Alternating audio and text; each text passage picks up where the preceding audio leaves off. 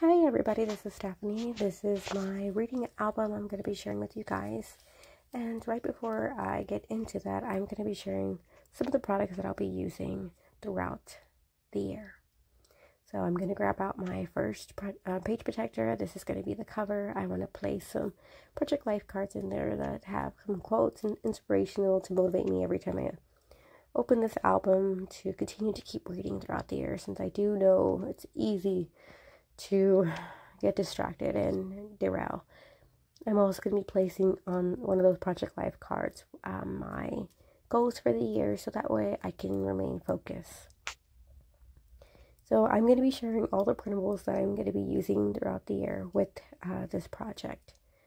But I also wanted to mention how I'm printing right now since I did notice a change, uh, an improvement, and I want to share it with you guys so that way um, in case y'all want to print and join along with me on this project, you're able to, um, or just in general, if you ever consider printing some of your work, it's instant gratification. You, as soon as you buy it, you're able to print it, and I love that so so much. Since with right now with uh, shipping and everything else, there's a ton of delays. So I'm gonna bring this to your attention that normally I print with regular cardstock. This is Neenah Bright white cardstock, and I've been noticing that there is a slight fade to it. And normally on a regular basis, as you can see here, it's totally fine until you get up and close to the images, especially the ones that have color on them. You get to see that they are with kind of grainy, meaning the color didn't fully saturate the entire um, um, Project Life card completely. It has a faded look. And then you can notice that on smaller images as well. So when you start printing out um, the stickers, the printable stickers, and you know, for a planner or just in general from a collection, you do notice the fade more on those little individual items. So now this one right here is the second one. This is how I print it with cardstock, but I used a different printer setting. So I used the presentation paper setting. And you can see the color is more true to itself but I'm still using regular cardstock, so it did still seep in, but it looks more crisp than the uh, original. The third one right here is actual printer paper, presentation paper, I'm sorry, premium presentation paper with that correct setting of presentation paper. And you can see it is by far the best. The color is the truest. Even the image that says currently reading is awesome nice and clean. So I just wanted to show you that that there is a difference. Now, I do want to mention I do not uh, buy my own ink. So um, every time I run out, I am on the HP Instant Ink. I go by sheets. So um, if I I go in tiers, you can buy as many as you're going to print. Um, and I get to use the best quality for every single print.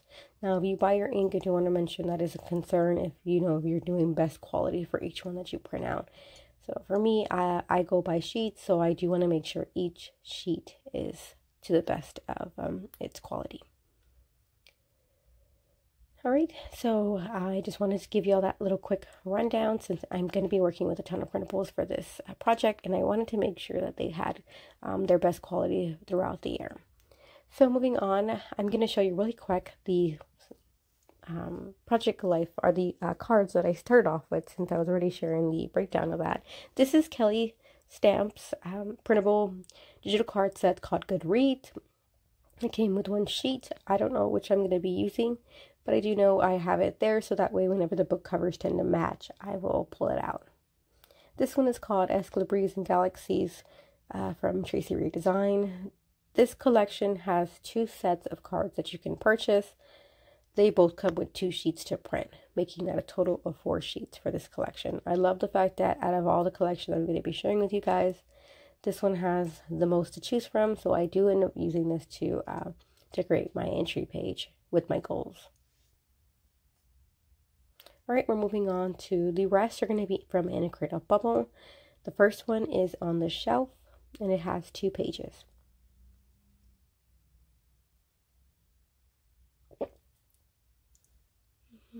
Drinking my coffee if you hear me gulping away. Um, and there is a different card you can choose from right here with different skin tones. So if you're interested in that, they do have that available.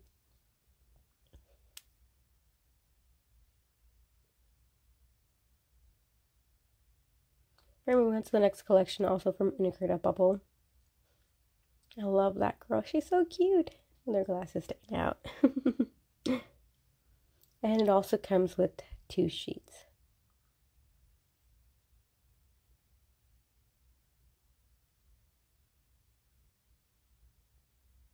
And it works in both ways, having these when they have a main um, quote. So those are definitely good for filler cards. And then the other ones that have space for journaling so I can my, write my review each time.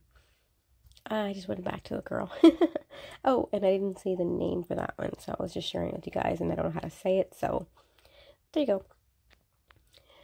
Um, now another one is called Bookworm and they do have an additional third sheet for this collection and it has an additional Project Life card that says books and tea, but I'm not a tea person, so I didn't bother printing that out.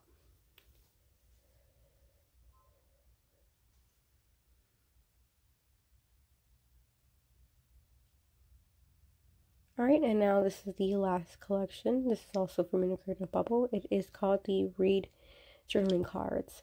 I thought this would be perfect to add for fillers for each of the collections since it is black and white, or maybe use it as its own collection in itself as well. But I really enjoyed having this one there to use in case I need it, since I know one or two of them had only one sheet with their set.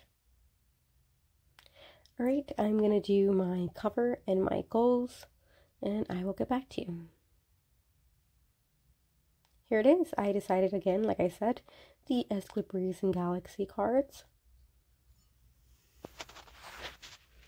And here are my goals for the year. First one says read 30, 40, 50 books. Now, that probably looks crazy, you guys, but my main goal every year has always been 50 books. I've never met that goal.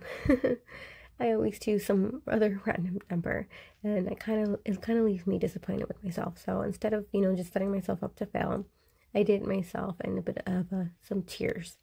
Last year I read 28 books, so I know this year more than likely I'll read 30. So I place a number in the middle that in case I make it to 30, but I don't make it to 50, hey, aim for 40. So that's my mindset on that. Moving on to the next one, I want to start three series, but I also want to finish three series that I've started in the, in the last year. I want to read three to five books with more than 300 page guarantee. So I've been aiming toward reading a 500 in a book or something just because I realize I tend to fall for the characters more in the book since they share so much more information. You really do get invested. I hate a book that goes a little too fast because then I feel like it was rushed and I didn't get to know the characters, so I didn't get to fall for the book and it wasn't worth it for me. Alright, try out two new genres. So I'm comfortable with my choices that I normally read. However, I want to see and branch out that maybe I can find a new genre to love.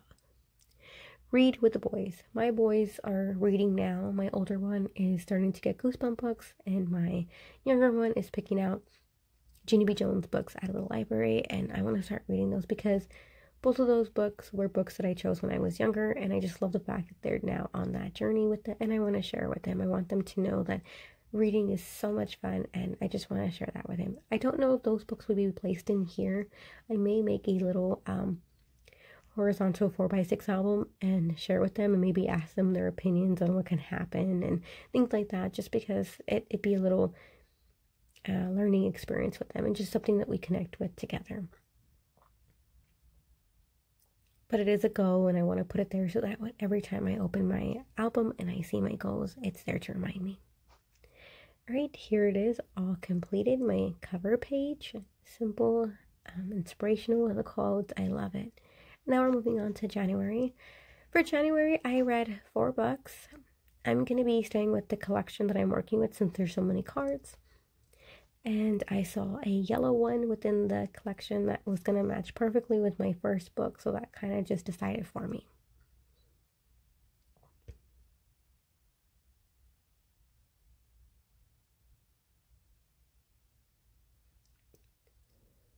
All right, here are the four books that I read, and while I'm placing them in, I'm going to start talking about them.